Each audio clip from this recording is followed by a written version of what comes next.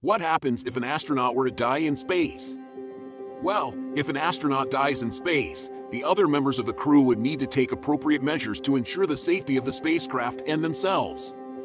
If the spacecraft is near Earth, the crew may attempt to return the body of the deceased astronaut to Earth, but if returning the body to Earth is not an option, the crew may have to jettison the body into space.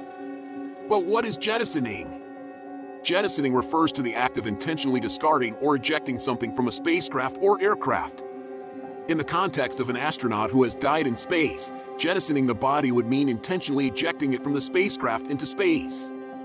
When jettisoning the body, the spacecraft would need to be positioned in a way that would minimize any risks of collision and depending on the design of the spacecraft, jettisoning may involve opening a hatch or a door and using a mechanism to push or release the body into space. Jettisoning the body of an astronaut is a difficult decision and is considered a last resort in most cases.